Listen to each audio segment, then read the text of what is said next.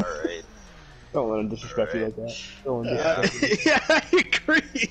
Yeah, I'm. I, I don't know how I feel about that one, Oh man. matey.